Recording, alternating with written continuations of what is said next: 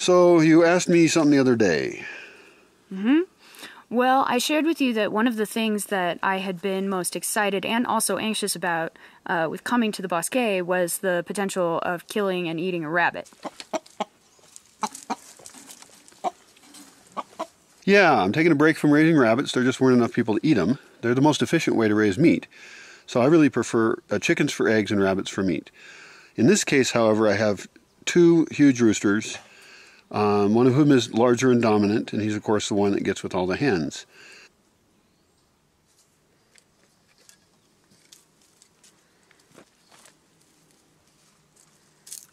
You don't have that many hens right now because I didn't have as many people eat the eggs. I just got some new baby chickens. I'm thinking it's time to stop feeding two roosters. Uh, you should usually have one rooster for every seven hens. So this rooster's already had a chance to uh, insert its DNA into the flock, and so I think it's time to kill. Mm.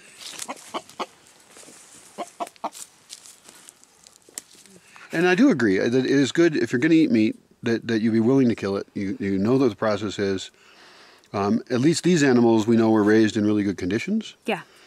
And it still, of course, is not very polite to kill things, I suppose. But if you're a meat eater, you're killing it. so here's our device for killing rabbits and chickens. Uh, this was a rabbit ringer. And so you put the rabbit's head in here. And then you pull its legs up this way. You pull up and it snaps its neck. So it's a very quick death. It actually separates the spinal cord. And so there's no blood and it's really hard to mess it up. Uh, this will be a little different because it's a rooster. Same idea though. Head goes in here, yank up, don't yank out because we want to get that angle to break the neck. like that. So how's that sound? Mm, I just hold his feet, right? Yeah. So I'm going to have like his head and yank his feet up. Okay. For the last decade or so, I've been on this continued path of getting closer and closer to my food and understanding the sources and why I eat what I eat. Um, and this will be the first time that I've ever killed anything and, and potentially eaten it. I don't even know if I'm going to be able to eat it, you've right? Been, you've been killing mosquitoes. Well, mosquitoes are different. Fuck mosquitoes. I don't like mosquitoes. they can all die. This is closer to us genetically. Also, that was self-defense. And See. so, okay, well, it's a nice looking rooster, uh, and uh, we're going to try and do this well. We always want to do a good job. So we're going to get some advice from Chileno on how to break its neck really well. Uh, the first time I killed a, a, a chicken, uh, I did a very messy, bloody job of it. It was not good. That was years ago, and uh, so we don't, I'm not going to do it that way. Uh, we know how not to do it. Today we're going to try to do a good job. Good luck. Thank you. And uh, the process of life and death continues. The cycle. So I'm thinking it might be a good idea if Courtnee got uh, used to holding a hen first, how its legs go and wings go and everything. So we're going to capture a hen over here and have her uh, hold that and uh, learn how to control the wings and stuff.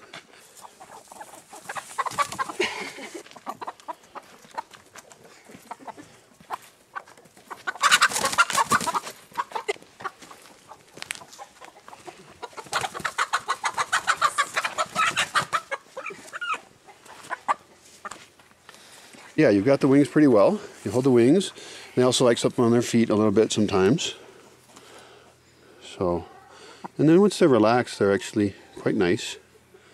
Hi, sweetie. Gracias. Es para que no aletee así. Entonces hay que agarrar las alas. So you have to grab the feet and the wings together. So you've really got him all under control. And then you can grab his head and you're going to put his head in the thing, uh -huh. and then you're going to yank his legs up. Yeah. Así mira. Sí. Yeah. Y, y no va a aletear. He doesn't like that at all. Sorry, honey. We're not going to kill you today.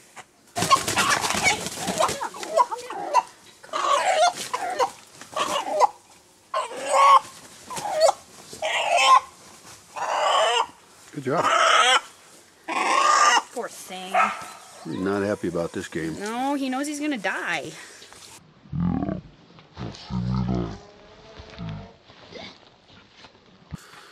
Yeah, he's all peaceful now.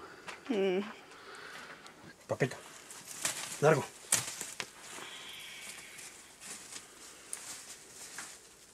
That was really good. Es Wings fuerte, and feet. Mira, sí. porque va a ser bien fuerte. Where should I hold him? Uh, just around, yeah, around there. Head goes in. Looks pretty good. You're going to pull up, up and that way. Is this good? Yep. Up and that way hard. Con fuerza. Una, dos, tres. Not hard Again. enough. You might have done it, but do it again. That'll do it. No! Get out of here, dog. Papito. You sure?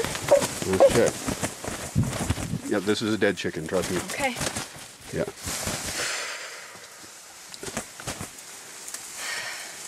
You can let go if you want. No. Okay. ¿Estás bien? ¿Necesita ayuda o qué? No, está bien.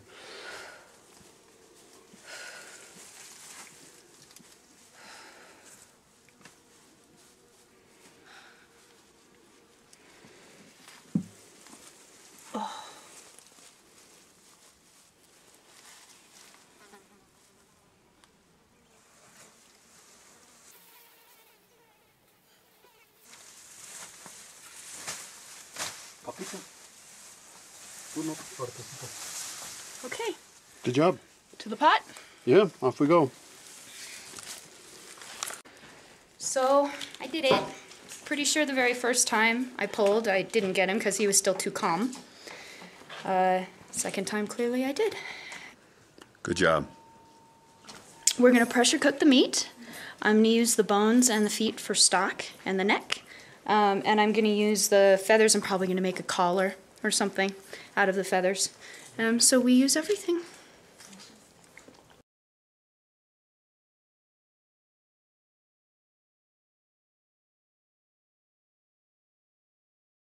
One of the other things I've done with uh, roosters when I've had too many of them is I've given them away to folks in the nearby town so that those roosters can mate with their hens and produce a slightly better hybrid potentially. Because the ones I'm growing are Rhode Island Reds, and they have kind of a chicken that probably the Spanish brought over at some point, and it's they're very well suited. They're good brooders. Um, they're suited for being out in the forest and, and hunting up bugs and stuff. But uh, the Rhode Island Reds uh, produce more eggs, and they're a little bit bigger if you were going to use them for meat. So I thought a genetic mixing would be nice. So this is freshly boiled water that's off of the heat element. And I'm going to be dropping him in and swirling him around for about five minutes. This is going to help um, loosen up the feathers.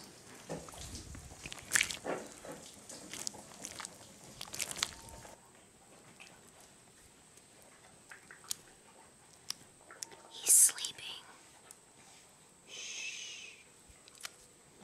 So I'm not too worried about uh, the fact that we did murder this chicken. The way I figure it is that a lot of people eat meat around the world. A lot of people eat chicken. It's very popular.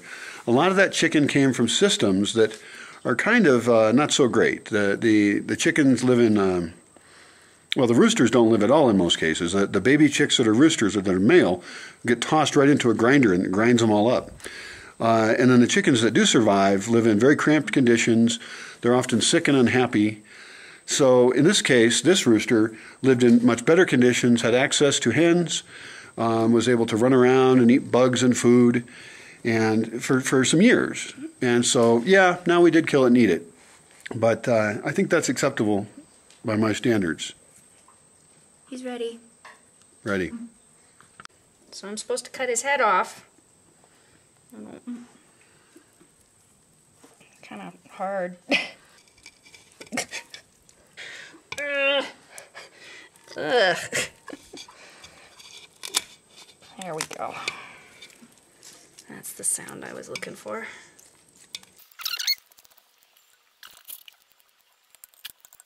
Headless chicken. Took a lot of work. Hmm, it's starting to look pretty familiar, huh?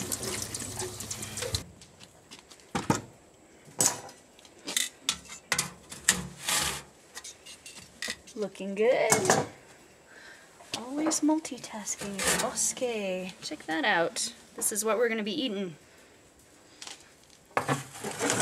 Okay, so now's the messy part where I'm going to cut him in a U shape here and pull his guts out.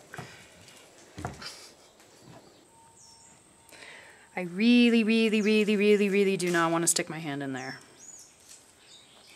Have you ever cleaned fish? No, I've caught fish. I've never cleaned fish.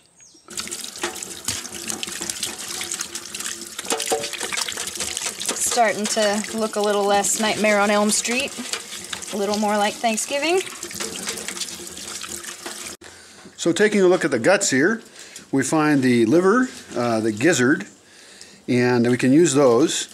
And then the liver has a little uh, part in it that's darker and, and stuff, and we got to get that out of there. If we break it, then we can't use the liver. It stinks real bad. I forgot the name of that right now. You probably know it, but uh, yeah. So this is one of those chicken feet. You'll notice you can tell the age of the rooster by the size of these spikes. These are really vicious spikes. I mean, that feels like hard, hard, hard bone, and it's extremely sharp.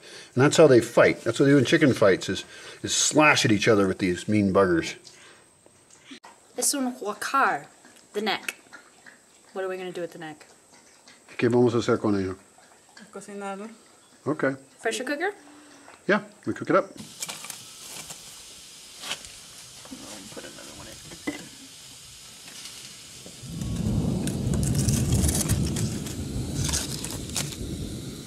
So the extra parts that we're not going to eat are here on this plate, and I'm going to go ahead and just add them right over here to some dog food we're already making out of uh, oats. So I'll just dump those guys in there.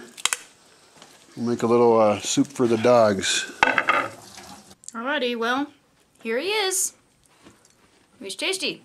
Tastes like turkey. Just pressure cooked rooster and a little bit of salt.